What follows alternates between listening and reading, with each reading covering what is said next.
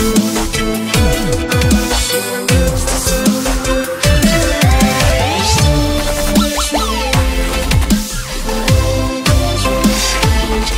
what's up guys it's me Blast and today I will be showing you guys how to overclock your AMD graphics card.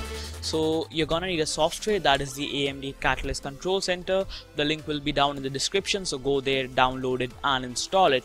After you've installed it just go to your desktop and right click on it. Click on the AMD Catalyst Control Center. Make sure to restart your PC after installing it. Now this window might open up. Go to the performance tab and go to AMD overdrive. This will be disabled so you need to enable this AMD overdrive and enable the graphics overdrive too.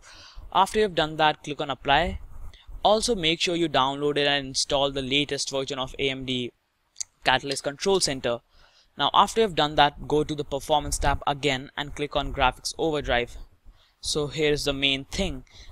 In this section you can just drill with the settings a little bit so that you can get the highest performance. Now just don't go full max out with everything because your cooler might not be able to handle it as it heats up your PC a lot and it also might damage your video card. So be careful while overclocking.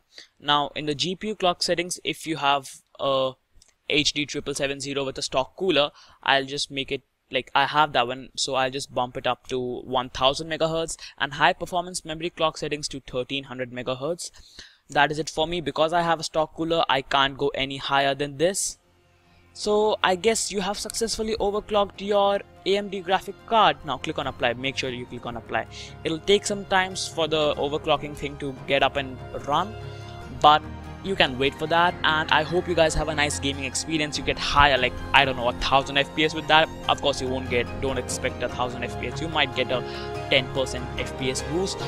Well if you found this video helpful please be sure to leave a like do comment and do subscribe and I will see you guys next time